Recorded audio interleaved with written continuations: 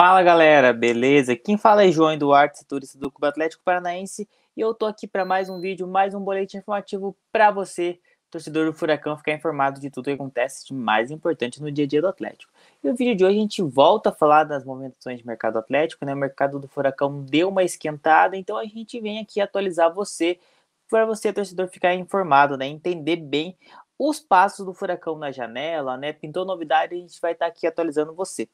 E a principal novidade, a principal movimentação do mercado do Furacão é que o Atlético avançou nas negociações com o Thomas Coelho, né? O atacante que estava no Red Bull Bragantino, mas pertence ao Atlético Tucumã da Argentina, né?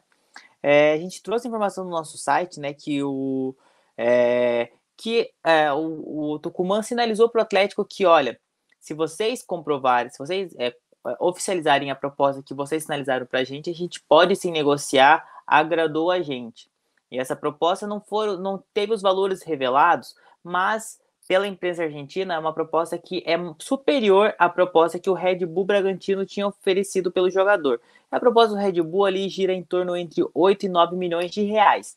Então a expectativa, né, tá, o Atlético deve ter oferecido cerca de 2 milhões de dólares ali, né, entre 10 e 12 milhões de reais para ter o Thomas Coelho, ainda que deixa um pouquinho ainda, deixa uma parte de uma futura negociação com o Atlético Tucumã.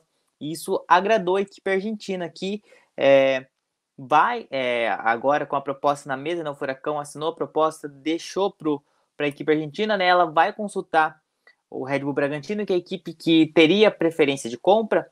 Provavelmente, se o Bragantino não igualar a, a proposta do Atlético, é, o Coelho deve sim é, avançar como, como jogador do Atlético, né? Ele tem interesse em, em permanecer no futebol brasileiro, né?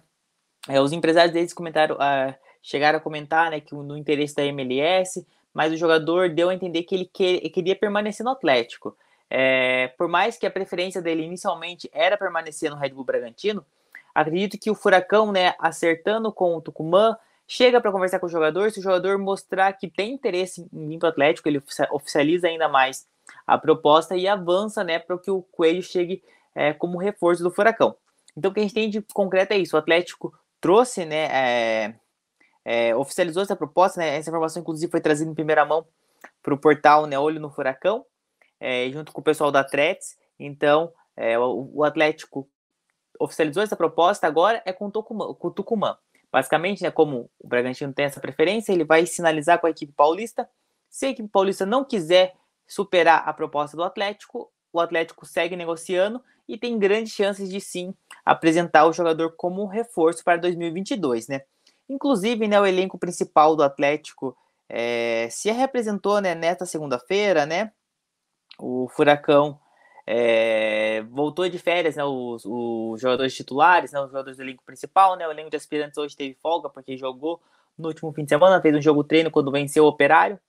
É, já com o Lúcio Gonzalez, né, o novo membro da comissão técnica do Atlético, né, já estava ali junto com a equipe, com os jogadores se apresentando, né, foram fazer a bateria de exames, teste de Covid, então devem voltar a fazer a parte física, né. É que nem a gente comentou, né, foi uma segunda-feira agitada, né.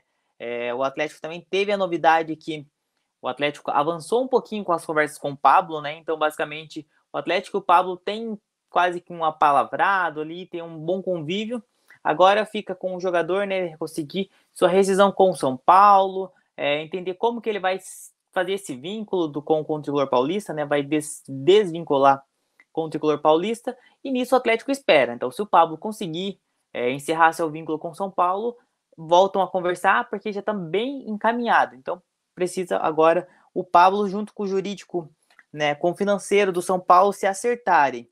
Outra parte que agora, outra notícia que envolve o jurídico do Furacão, que foi o Jean-Pierre, né? É, o Jean-Pierre que estava muito perto, né, de ser reforço atlético, recebeu uma nova proposta de uma equipe da Turquia, e nisso o Furacão estuda a possibilidade de entrar na justiça, porque o Atlético alega que tinha já um contrato assinado com o Jean-Pierre.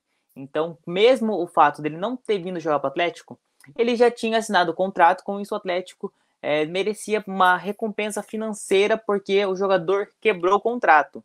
Mesmo ele não atuando, eles tinham um contrato, é isso que o Atlético alega. A informação vem lá do Rio Grande do Sul, né? A, da, a, as rádios ali trouxeram essa informação. É, então, o Atlético alega que pode, que tem um contrato sim. Então, é um assunto que vai seguir, provavelmente, mesmo o Jean-Pierre não virando jogador do Atlético, ele pode acabar gerando uma recompensa financeira para o Furacão. É, mas é assunto que ainda tem, tem muita coisa para acontecer, mas o Atlético já sinalizou que pode sim é, entrar na justiça para ter alguma recompensa, né, por todo esse embrolho envolvendo o Jean-Pierre, né, e a sua não vinda para o Atlético. Se você quiser saber sobre Coelho, é, Lúcio Gonzalez, o time aspirantes, o time principal do Atlético, tudo do Furacão, vai lá em esportesmundo.com.br barra Atlético. Lá você fica informado de tudo que acontece no Furacão. Tem muita notícia, tem muito material para você.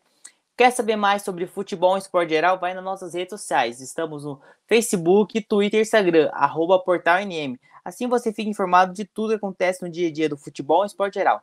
Muito obrigado, galera. Até uma próxima. Tchau, tchau.